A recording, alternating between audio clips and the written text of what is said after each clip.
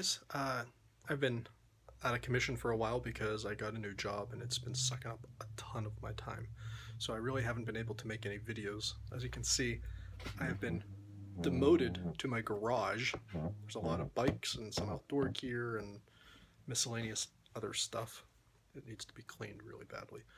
Um, but I had an idea for a video that I thought I could film this really, really quick in just one night and just do you know one take and it'll be sloppy with no editing or any BS. So um, what I came up with was at my new job I had to get some new steel-toed shoes because I work in a factory. So um, my old ones that I had from my previous job were they had many miles on them. We'll say that, and uh, they they stunk up my office. So I got new shoes. These ones have been living outside since then. They're pretty well beat up, um, but they're steel toes. They're actually composite. So what I wanted to do was try to shoot these and see what happens. So um, what I have available tonight is my 22 Marauder pistol and I'm going to try and shoot that with a couple of different types of ammunition. I have uh, JSB Jumbo Diablo, uh, where there's like 15.89 grain pellets, domed, and I have some Gamo Match Diablo pellets. These guys are 15.43 grains, but it looks like they're a wad cutter, not a not a domed head. And then I have something that's a little bit of an oddball. Oh, I also have some uh, Remington domed pellets are already loaded in here, so I can't really show you to you. And I don't know how heavy they are because I bought them off of Amazon because they were dirt cheap a while ago. But this is the one that's kind of neat.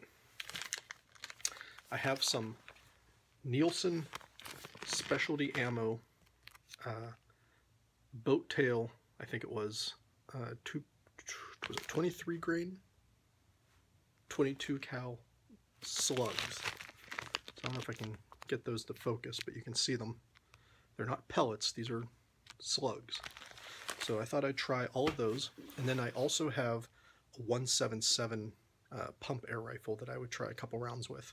So what I'm going to do is I'm going to set the camera down near my target. It's going to be a very rudimentary target, um, basically a board. And I'm going to set the shoes on it and I'm going to shoot them. You can tell, I can see my breath. You can tell it's cold. Um, but anyway, I'm going to set that up and take a couple shots, and we will dissect the shoes and see if anything goes through and what the state of the pellets is, and uh, we'll, I guess we'll revisit this whenever I'm done. All right.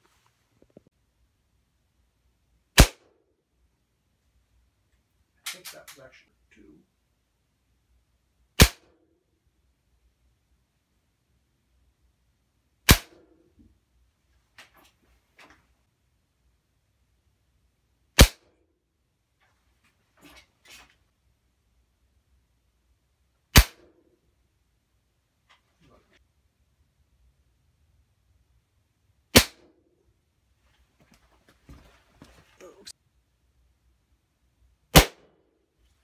Wow.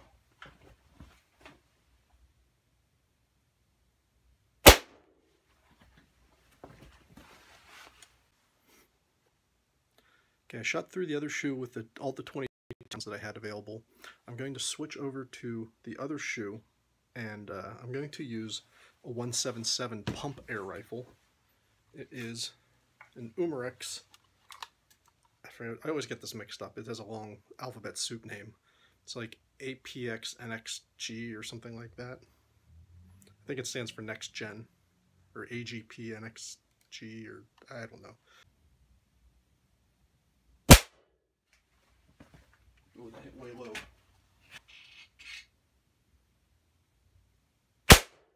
Ah.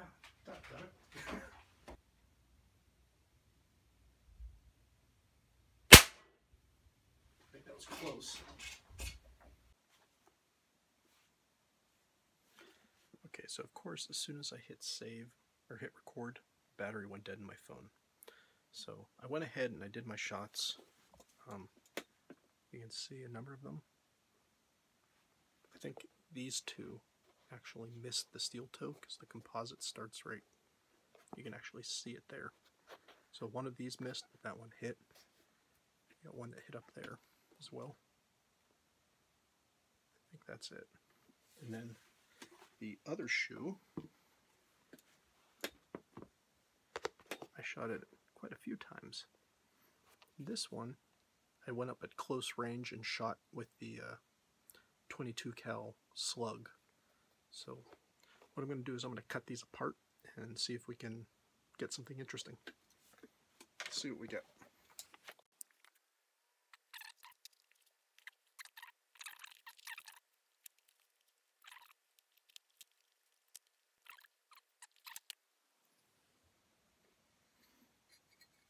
So uh, you can actually see where the pellets hit, it didn't even put a dent in it. Wow. Good stuff. Not even a scratch. And that was, those were the 22s, I think. Yeah.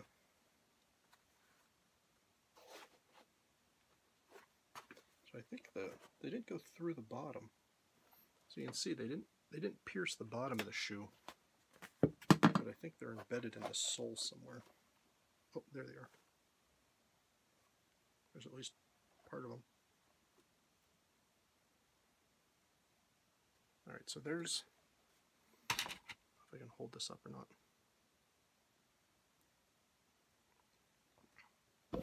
Here's the Nielsen Specialty Ammo Slug. It's uh, a lot shorter than it used to be but you can still see the the tip of it. As you can see the rifling on it. If I can get this to focus. Maybe I'll try this with the other camera afterwards. And then uh, this one fared significantly worse. So I mean, it completely flattened that. I don't know if I can find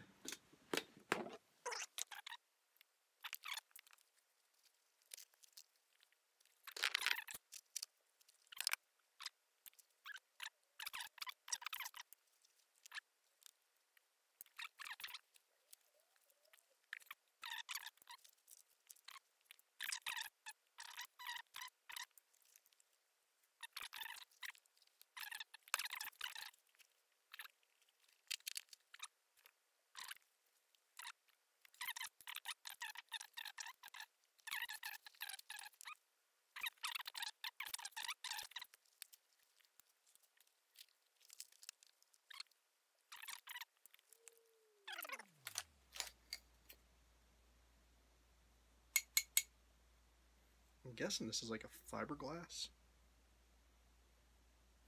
You can see it's, it's really brittle. It's hard stuff, whatever it is. Anyway, so now I know my steel-toed shoes, stout stuff. Um, they're not steel, obviously, it's a composite. But they'll stop a pellet, a 22 pellet moving at, I don't know, what's 750 feet per second. That's a Marauder pistol. So I'm guessing it's about 700. Anyway, neat experiment. Thanks for joining me, and uh, I'll see you another time.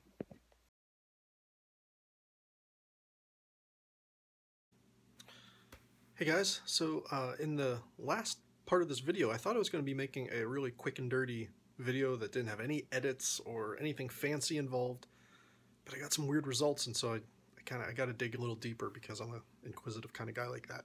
So if you remember, I shot a pair of uh, composite toe work shoes and these are the composite toes that I cut out of the shoes. And if you look at this really closely you can see a little circle there from where one of the pellets that I shot I think that one was a uh, I think that was a 177 and then this one had a couple of more that I think were 22 rounds. Um, I shot the things and they didn't even make a dent in these composite toes. Not even a scratch. I mean, you can see where the circle is. There's nothing else to indicate that that was hit, just some dirt that has been cleaned off of the plastic. So I wanted to step it up a little notch and continue this experiment. Um, so what I've got going tonight is I'm I'm upping the ante a little bit, going with a 25 cal uh, Benjamin Marauder air rifle. It's aired up, ready to go. Um, some standard run-of-the-mill Benjamin 25 cal pellets that I bought. I don't even. It doesn't even say on the tin how much they weigh, so I have no clue. If I had to guess, I'd say somewhere in the vicinity of 23 grain. I don't know. Maybe more than that. It's got to be more than that. 30. Let's say 30 grain. That seems like a nice round number.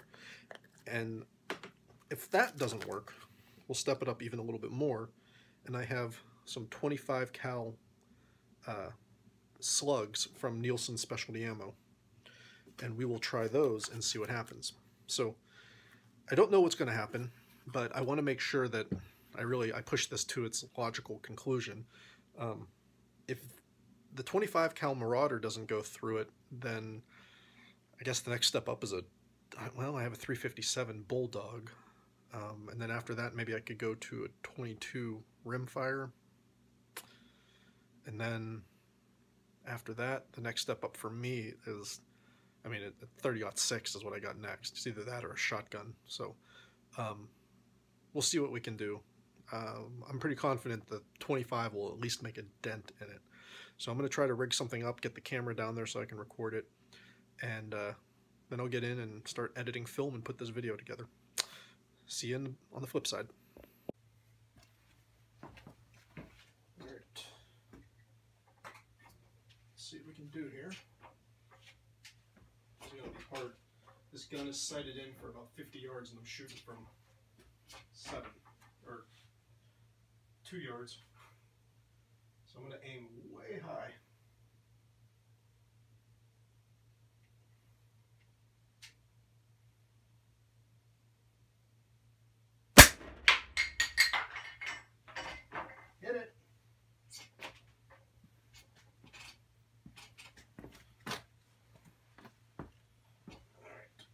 Take a look at what happened here.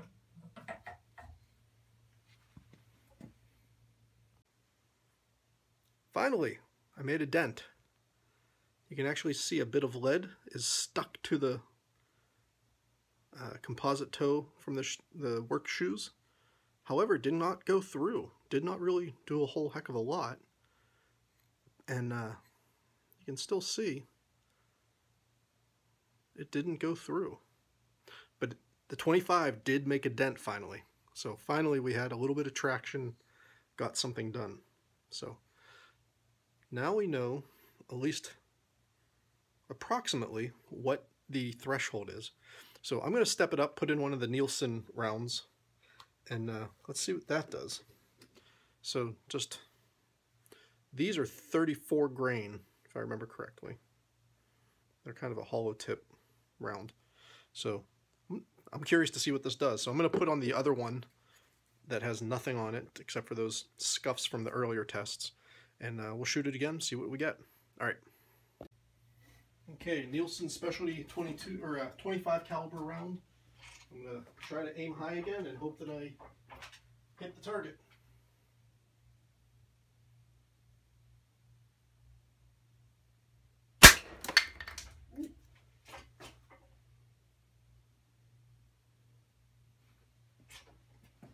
You believe that actually came right back and hit me in the face? Good thing I was wearing safety glasses.